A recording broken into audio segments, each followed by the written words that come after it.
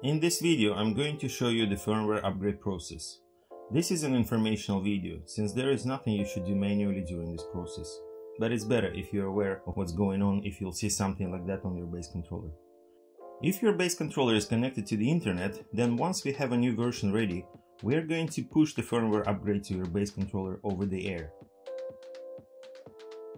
Here you can see the process when firmware is uploaded to the base controller.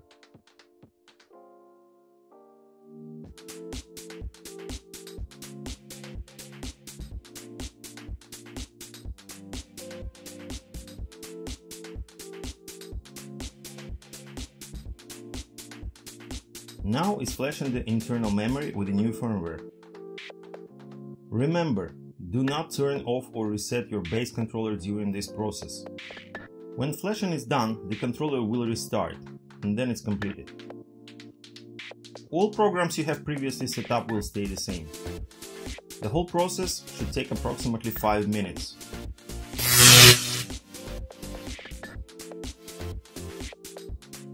To check the firmware version of your base controller, go to menu, then About. First line will show you the current version number.